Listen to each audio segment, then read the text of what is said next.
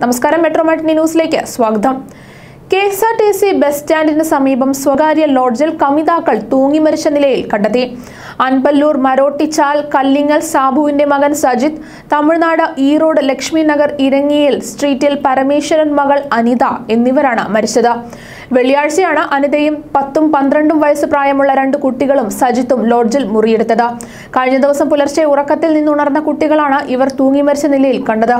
ഉടനെ ഇവർ ലോഡ്ജ് ജീവനക്കാരെ വിവരം അറിയിക്കുകയായിരുന്നു. ഇവർ പോലീസിൽ വിവരം അറിയിച്ചതനുസരിച്ച് പോലീസ് സ്ഥലത്തെത്തി അന്വേഷണം ആരംഭിച്ചു.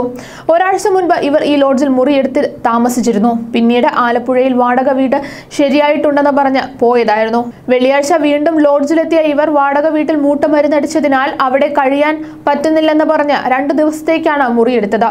പോലീസ് നടത്തിയ പരിശോധനയിൽ ആത്മഹത്യാക്കുറിപ്പ് കണ്ടെത്തി.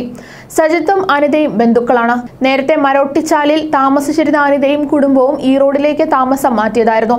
അവിടെ മറ്റൊരാളുമായി വിവാഹിതയാവുകയും ഈ വിവാഹത്തിൽ രണ്ട് മക്കളുമുണ്ട്. ഇതിനിടെ മറ്റൊരാളുമായി പരിചയപ്പെട്ട അനിത ഭർത്താവിനെ ഉപേക്ഷിച്ച് അയാളോടൊപ്പം പോയി. ഇതിനിടയിലാണ് ബന്ധുവായ സജിത്തുമായി ഈ റോഡിൽ നിന്നും സ്ഥലം വിട്ടത്.